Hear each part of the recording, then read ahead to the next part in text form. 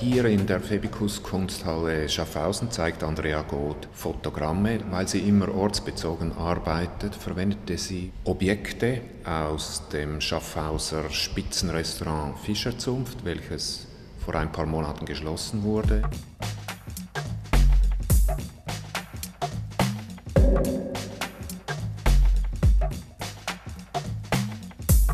Und Andrea Goth war an der äh, Liquidation und hat dabei zum Beispiel solche Tücher erworben, die sie nun für ihre Fotogramme verwendete.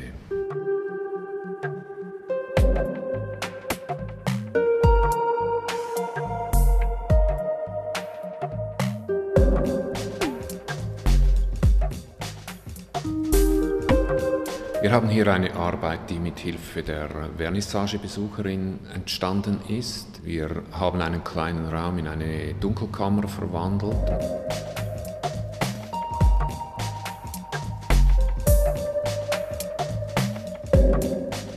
Aldo Mozzini und Opi De Bernardo arbeiten hier in dieser Ausstellung in Schaffhausen als Duo. Die beiden Künstler zeigen einerseits ältere Arbeiten, die schon bestanden haben. Das dokumentieren sie mit Fotografien und mit Modellen.